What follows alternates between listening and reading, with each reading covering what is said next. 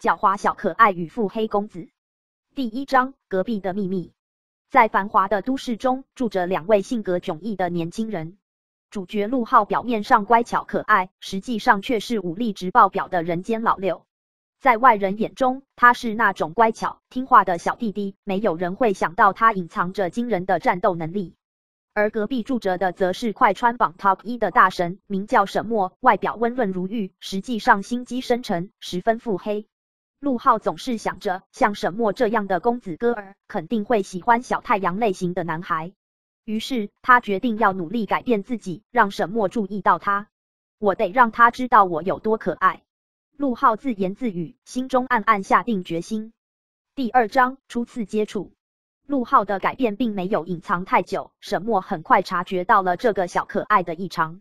他一开始只是以为陆浩只是在耍些小花样，但随着时间的推移，他开始对陆浩的行为感到兴趣。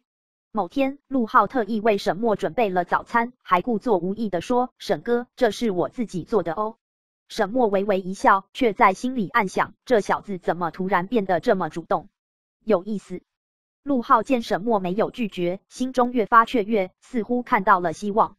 于是他开始展开了一系列接近沈墨的行动，像是每天都会在楼下等他，一起上下班。第三章暗流涌动。随着陆浩的积极行动，沈墨越来越感到不对劲。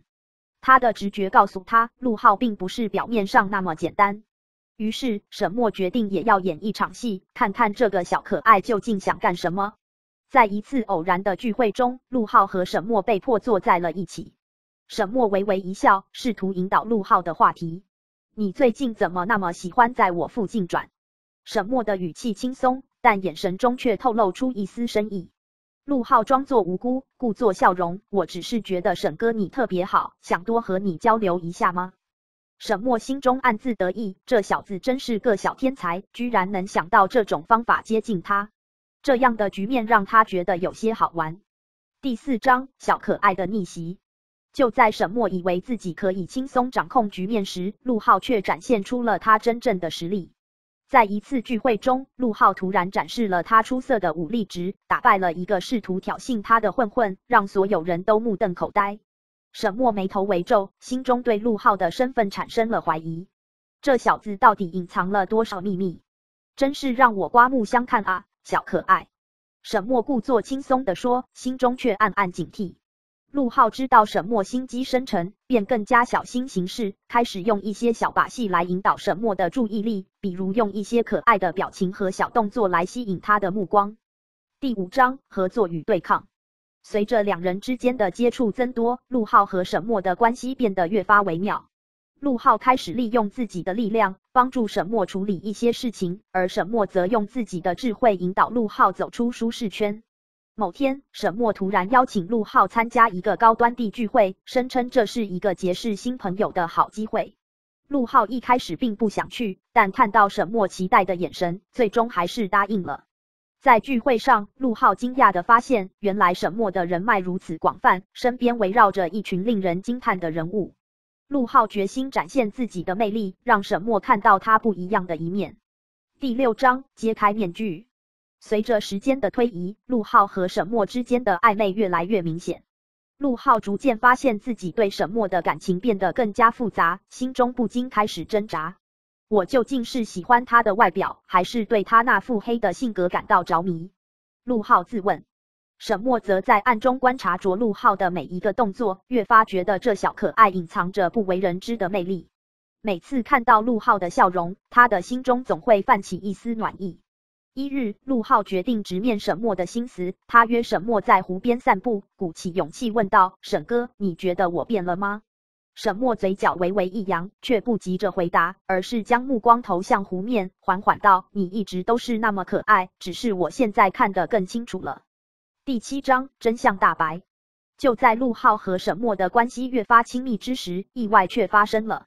沈墨的快穿任务突然来临，他被迫回到任务世界，而陆浩却毫不知情。我会在这里等你，等你回来。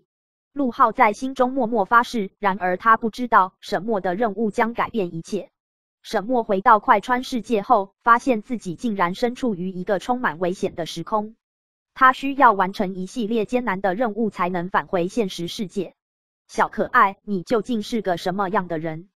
沈墨在心中默默思索着。第八章追寻与救赎。在快穿的世界里，沈墨面对着各种挑战和考验，但心中却始终惦念着陆浩。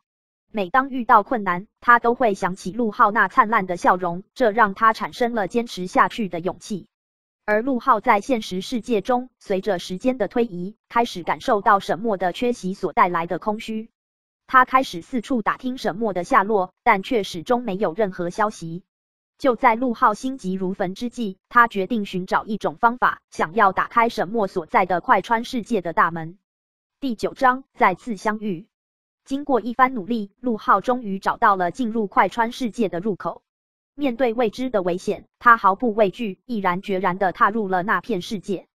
当他来到快川世界的时候，四周的景象让他惊讶不已。这里的每一个角落都充满了奇幻的气息。而陆浩的目标只有一个，那就是找到沈墨。终于，在一个巨大的战斗场上，陆浩看到了沈墨。他的身影如同战神般威武，眼中闪烁着坚毅的光芒。陆浩的心瞬间被感动。沈哥，我来找你了。陆浩高声呼喊，沈墨的眼神在听到声音的一瞬间变得柔和。面对这个为了自己不惜冒险的小可爱，他心中的感动无法言表。第十章，心意相通。陆浩与沈墨再次重聚后，他们一起面对着快穿世界的各种挑战，互相支持，携手战斗。在这个过程中，两人的心灵越发契合，感情越发深厚。在一次任务完成后，陆浩终于鼓起勇气向沈墨表达了自己的心意：“沈哥，我喜欢你，无论在哪里，我都会陪着你。”沈墨心中一震，随即露出了温暖的微笑：“我也喜欢你，小可爱，不管在哪个世界，我们都是彼此的守护者。”第十一章新生活的开始。经过一系列的冒险和考验，陆浩与沈墨终于成功返回了现实世界。在这个过程中，他们的感情从友谊升华为爱情，彼此承诺将携手走过未来的每一个日子。陆浩在沈墨的陪伴下，发现了生活中的更多美好。他不再只是那个表面乖巧的小可爱，而是个有着坚强意志的战士。而沈墨也在陆浩的影响下，变得更加开朗，学会了享受生活。他们一起探索城市的每个角落，享受生活中每一个小瞬间。无论未来会遇到什么挑战，他们都坚信心中有彼此的陪伴就是最大的幸福。尾声，未来的约定。在某个阳光明媚的日子里，陆浩和沈墨坐在草坪上，手牵着手，面对着蔚蓝的天空。陆浩微笑着说：“沈哥，未来我们要一起走下去，无论遇到什么，我们都不会分开。”沈墨温柔的看着他，眼中闪烁着坚定的光芒。好，永远在一起。他们的笑声在空中回荡，未来的路因为彼此的陪伴变得更加灿烂。